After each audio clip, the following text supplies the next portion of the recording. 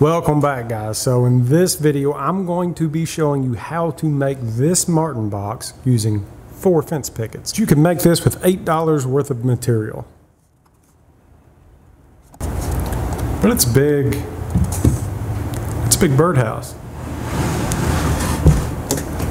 And the reason why I chose this for our Make Money with Woodworking series is because there is a ton of money in birdhouses. And Martin boxes in particular because no one makes the wooden ones anymore. You cannot hardly find them. They're all the plastic, the cheap plastic ones, you know, they're everywhere and they're ugly. When people come up with something like this that can be used as a decoration or a Martin box, they will pay premium. These things are going for hundreds of dollars if you can find them. This is actually one that my son made, but in the past I have made them and sold them for $350 a piece. Those are probably about three foot tall. This one's not quite as big as 24 inches long, but a very large and impressive Martin box. And like we've discussed in the past, people love birds, they love anything to do with nature and home decor. So if you're looking for something to build on the cheap, that could make you a lot of money, this is where it's at. And as always, if you're going to build one, build several because this one's been claimed, the prototype's been claimed, and the ones that I haven't even built have already been claimed. So. And at the end, I'm going to announce the winner of the game that we played in our last video. Super fun, tons and tons of guesses, but there was only two correct guesses. I actually had to draw for the winner. And if you are interested in more builds like this, do not forget to smash that subscribe button and follow for more. Let's get started. Alright guys, let's get started on this project. As always, I will be putting the full cut list in the description, as well as link to my Etsy shop for the full plans for this build. And we're going to start with just cutting out our parts, everything that's on the cut list. Now, if you would like to paint this project, you do not have to, you can just stain it, but if you'd like to paint, let's go ahead and do that at this step. Anything that will be exposed. So all of the bottom boards, the outside walls, and the posts. And for this type of distressing, I like to paint everything black, let that dry, and then go over it with a nice thick coat of white. Now while that's drying, let me show you how I lay out my shingles.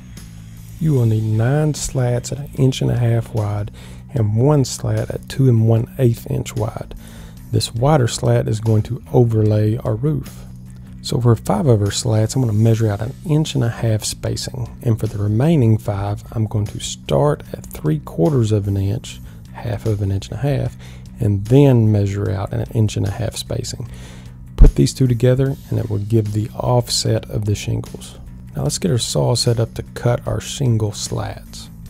We're going to start by building up our back fence at least two inches. What this is going to do is allow for the blade to pass completely through our slat while we're cutting our shingles. And now we're going to use our depth stop. We've talked about this before. A lot of people do not even know that your saw has one, but most likely it does. And for some reason, if it does not, this can be done on the table saw. And I'm setting my depth stop up for 1 8th of an inch. So basically, every mark that I make, every cut that I make, will actually go in one eighth of an inch and with our backstop it will allow it to pass all the way through leaving a completely straight line. Now that's all we have to do is follow the marks that we made earlier and we have shingles. Not like the really painful chicken pox type of shingles, but you know what I mean, roof shingles. And depending on your comfort level, you can do more than one slat at a time and this will speed things up tremendously.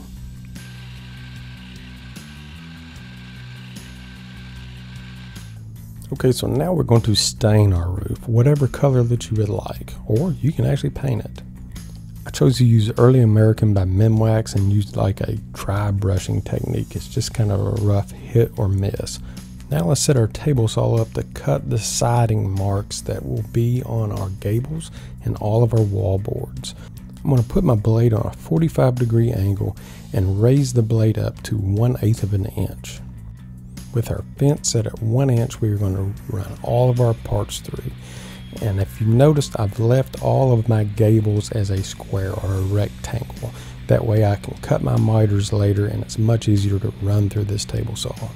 So then once we have our cut on all of our parts at one inch, we're going to move the fence over to two inch and repeat this process. And then we'll move it over an inch at a time until we have five siding slats in our material.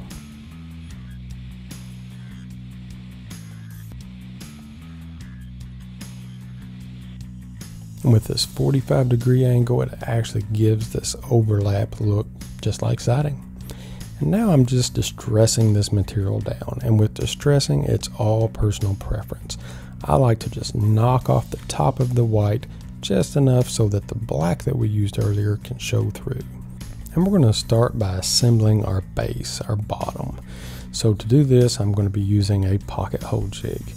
So I'm going to be putting some pocket holes in the back of one of the two parts. And it helps to tighten up your bit.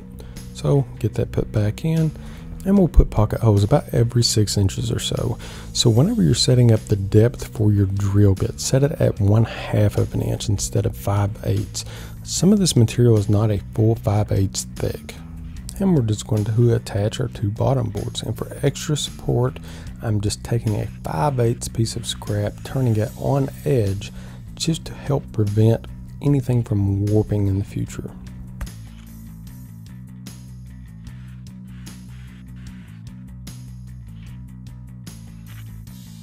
Now with that done, let's go ahead and put some pocket holes into our two sides and our front board. Now these are only going to be on the bottom. This is what will attach to the bottom board holding everything in place. The back wall will not need these because we will be making it removable for clean out. Now let's go ahead and cut our holes in our front wall and we're going to space these out at two and a half inch increments from the very edge. And then after measuring down to the center of your board, let's go ahead and take it over to the drill press. If you do not have a drill press, you can easily do this just with a spade bit and a drill. Since this is going to be for Martins, I am using a one and a half inch bit.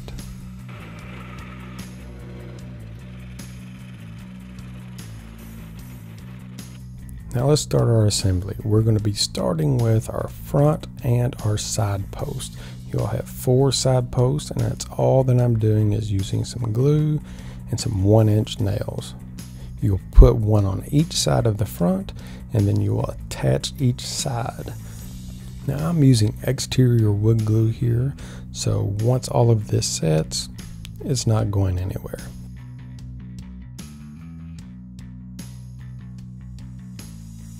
Now let's attach our remaining two corner posts to our two side walls. You will also need three dividers and you'll need to put pocket holes in the end. I put two in one end and one in the bottom. You'll see where these come into play. Now let's attach our walls to our base and we're just going to be using one and a quarter inch pocket hole screws.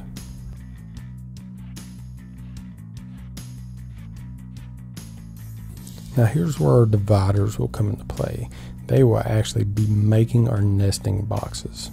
So we're going to put them in at 5, 10, and 15 inches.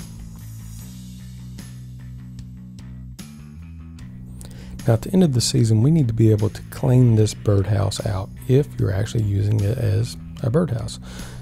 So in order to do that, I'm just putting four screws into the back wall from the side posts. Now we're just going to take our gable parts, which are going to be labeled J, and find center, which in this case is going to be five and a quarter. And we're going to mark our lines all the way down to the corner. This just happens to be 45 degrees.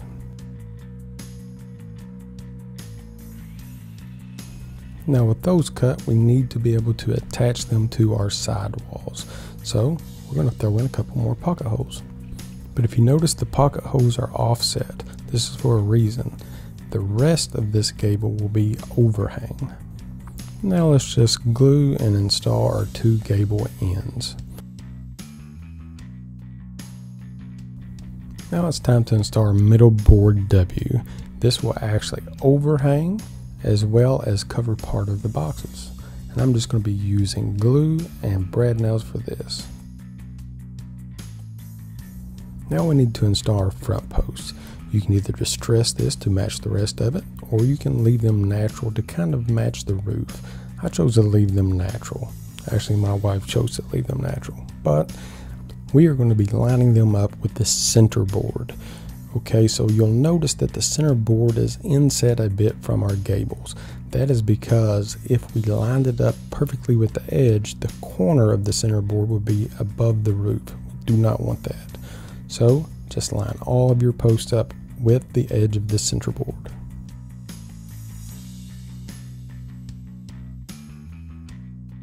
Next, we'll install our middle board in, and then once that is installed, we will go ahead and cut our center gable. The center gable will actually hold extra support for the roof. And we will do that in the same way that we did for our outer gables. Now let's go ahead and put our shingles on. And I'm going to start with a 2 and 8 inch shingle, and this is going to be on the front. I'm just squaring it up and only using glue and brad nails. Then we will simply alternate back and forth between the two shingles that we had cut.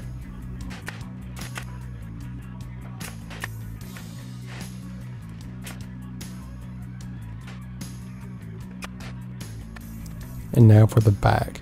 You can see where our first board will actually nest underneath of the 2 and 8 inch board. So make sure to leave that overhang whenever you first put it on. And the super cool thing about these type of Martin boxes is you can decorate them up as much as you want. I've decided to go ahead and put some post braces in just because this style of house would typically have them.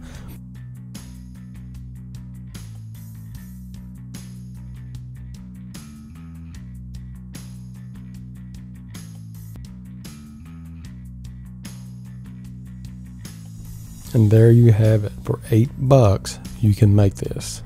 And that is awesome. So, enjoy. Thank you guys so much for watching. I hope that you were able to take something away from that video to help grow as a woodworker, grow as an entrepreneur, and this is where it's at. Things like this. Low cost, high profit items. That is where the money is at. And here is the winner of the AXIL Electronic Muffs. The winning number was 379. There were actually two people within the time frame that guessed the 379 correct answer. There was all kinds of people around it, and then we had a drawing for a winner. So hit me up, let me know where you're at and where to send this to. Again, thank you guys so much for watching. Our brag board is blowing up, our Patreon community is growing, and this channel is growing along with it all. Until next time, get out of your comfort zone and push yourself to be a more creative woodworker and a better entrepreneur in the process. See ya. So, or, or if you're the type of person, ah, person, now I've got a lisp.